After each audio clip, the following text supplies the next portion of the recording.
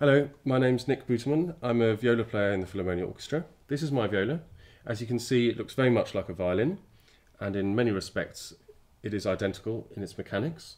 It's just perhaps one inch, one and a half inches longer, uh, which creates a lower sound as the string length generally is longer.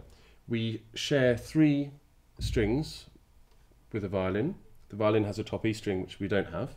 We have the A and the D and the G. And the bottom string that we have that the violins don't is the C, which is one octave below middle C.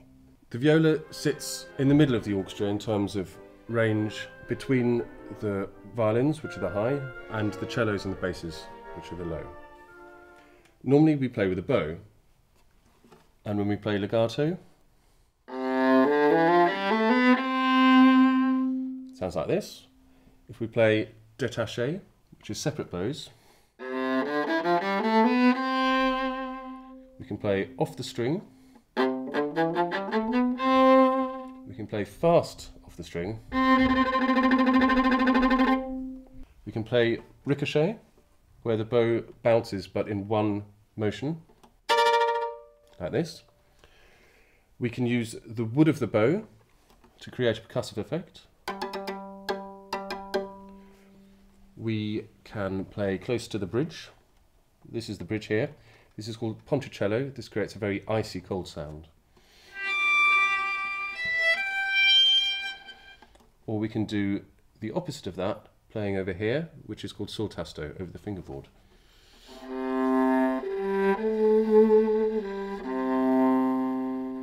which is a much softer sound. The usual sound would be in the middle, like this. We can also use our fingers to pluck the strings. This we call pizzicato.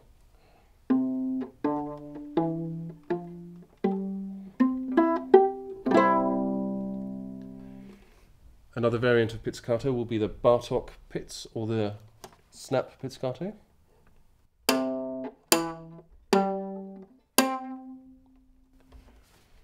And often by contemporary composers, we're asked to play slightly stranger things. For example, knocking the wood of the instrument or playing behind the bridge. So in the Haydn, if we were to play it on the string, it would sound like this.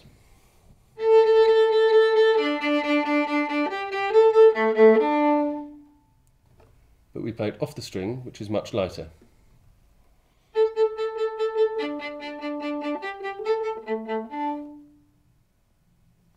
Wind players have their breath to naturally phrase and put direction into their music. Um, string players, of course, breathe when they play, but it doesn't have the same natural effect as the wind players. What we do have, how, however, is down bows and up bows. The bow is weighted much heavier at the frog, which is this end here, than at the tip up here. And because of that, naturally, if we're playing a heavy note, a louder heavy note, we'll use a down bow. And then the result is a lighter up bow. Sometimes we will want to use several down bows in a row because every note is a heavy note. For example, at the beginning of uh, the Sixth Symphony by Mahler.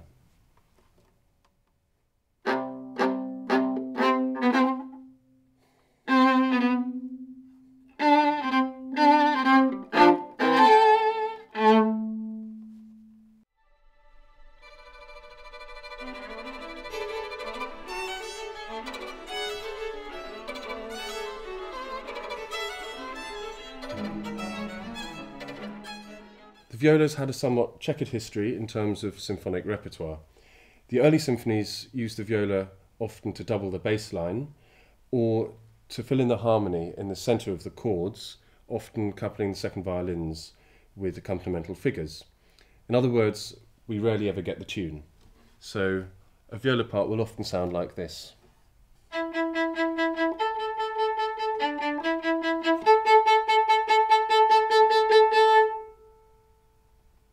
as orchestral writing developed, composers were a little more daring with what they were willing to try with the viola section. For example, in the Symphonie Fantastique, in the slow movement, the violas are given a tune.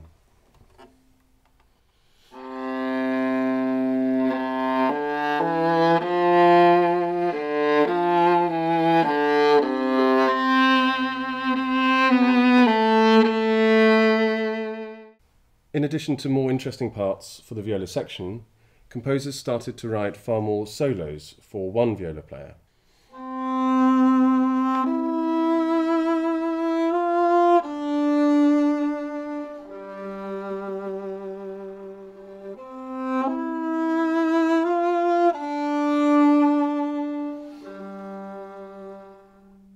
As we head into more contemporary orchestral music, you will see that composers place no restriction on the viola at all and do not typecast the viola.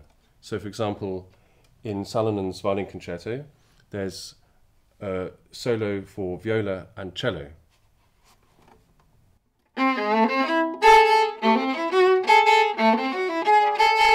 So, as you can see, the viola, like all string instruments, is very versatile but we sit right in the middle of the orchestra with the heart of the string section.